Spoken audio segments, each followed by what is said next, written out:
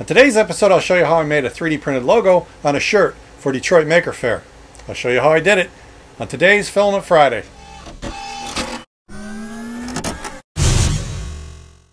Filament Friday is brought to you every week by the generous donations of my Patreon supporters, and they get special access to chepclub.com. So join us.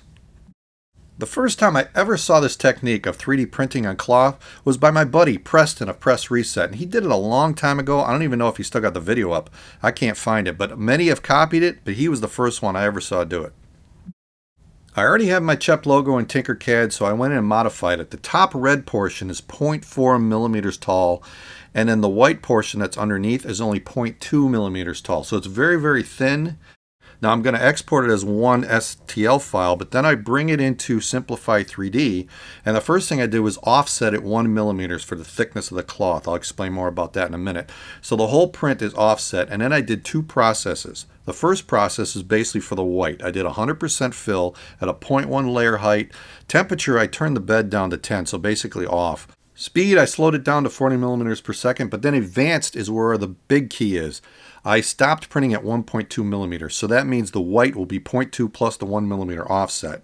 Then I did a second process with all the same settings, but I told it to start at 1.2 millimeters and then just go to the top. So there's two processes here. I'm going to change color midstream, and here's process two, which is just the lettering. So the white and then the red. That one millimeter wasn't a guess. I used a shop rag and tested with the auto level and I found one millimeter was perfect. I got it to work on the rag, so then I moved to the shirt. So the shirt I had to kind of position as best I could to get that chep in the proper position. One was off a little bit. I did two of these shirts. And then I just taped it down and tried to stretch the material so it was nice and smooth and held firm.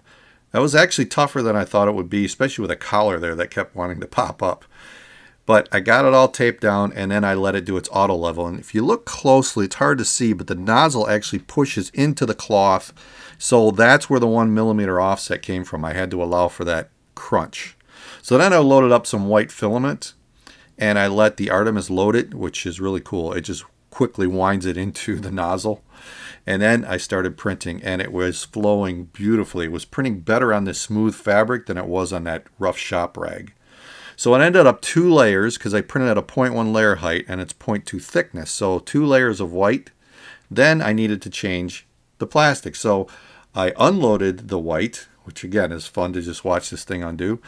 And then I brought in red Filament Friday filament and loaded that up. Now I needed to clear this out, so I ran a little bit more extrusion and made sure the red was coming out, not white, and then I let it print. And it started drawing the letters, doing the outline, this was actually looking fantastic. It finished the final layer of red, and then it lifted up, and I had a 3D printed logo on my shirt. It seems to be holding to the shirt really well. The corners are even tight. Now this may not hold up in the wash. I'll save that for a future test. So I've wanted to try this for a while. I finally did it and I think it came out great.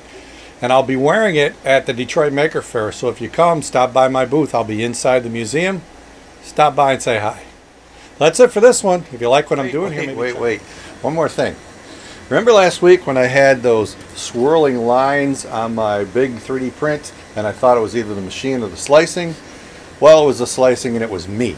I screwed up. I didn't do a big enough outer layer.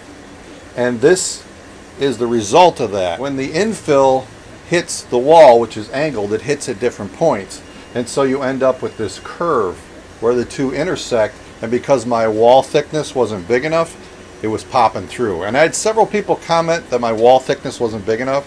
I just went with the default settings that were in the profile. And I had never seen that before because I don't print big that much. This pattern was matched perfectly to a CAD analysis that a uh, Twitter follower Primo Seppin I think is his name. I don't know if that's how you pronounce it. Sorry Primos if I said that wrong but he did a full analysis and showed these exact curves, which is the intersection of the interior with the exterior. So that's all it was. I increased it to a bigger uh, outer layer. I basically just added one layer and I reprinted it. Now it's a little bit smaller, but still, all those lines are gone. And it looks great. So that's it. We can go back to the show now. If you like what I'm doing here, maybe check out some of these videos that are popping up. If you want to help support the channel, a dollar a month to Patreon, get you access to CHEP Club, and if nothing else, click on that CHEP logo and subscribe. I'll see you next time right here at Filament Friday.